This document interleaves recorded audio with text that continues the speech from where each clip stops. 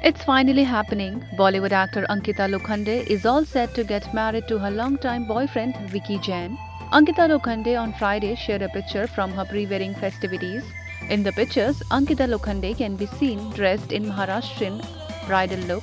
The actress opted for a pink and neon green sari, while Vicky Jain opted for an off-white kurta pajama set. The two of them also can be seen wearing munda an accessory worn in Maharashtrian weddings. Ankita captioned her post Sacred. Ankita added the hashtag Unwiki Ki Kahani. Vicky too posted a string of pictures from the ceremony and wrote in Marathi मी आमावत चेयर प्रेम करतो but picture तो अभी बाकी है मेरे दोस्त Recently, Ankita Lokhande threw her bachelorette party for her friends. Ankita looked stunning in a wine-colored dress and posed for the paparazzi.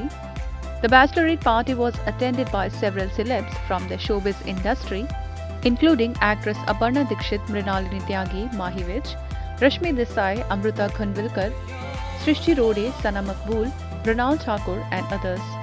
Actress Ankita Lokhande became an overnight sensation when she was paired opposite Sushant Singh Rajput on the daily soap Pavitra Rishta.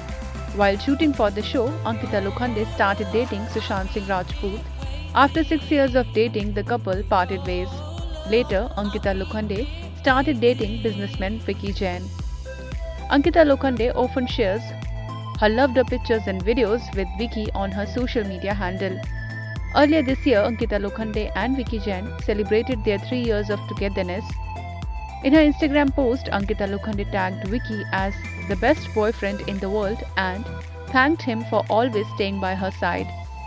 Ankita Lokhande was recently seen in the new season of Pavitra Rishta. It's never too late. The actress says that she feels connected with her on-screen character in Pavitra Rishta. It's never too late. Ankita, who has been playing Archana in the show for a long time now, feels that her role has a deep impact on her mind. As she says, when you are creating a fictional character that everyone connects and relates to, you have to put in your best as even a single incomplete shot can affect the entire series. So, to perfect my character, I have completely connected with Archana as who she is, which resulted in me switching between my real life and real life within seconds now.